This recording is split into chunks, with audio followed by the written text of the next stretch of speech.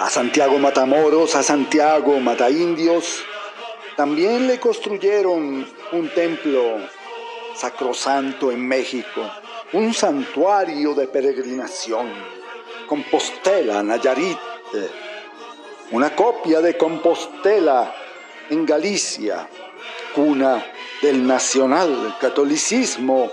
y el fundamentalismo franquista, sanguinario y asesino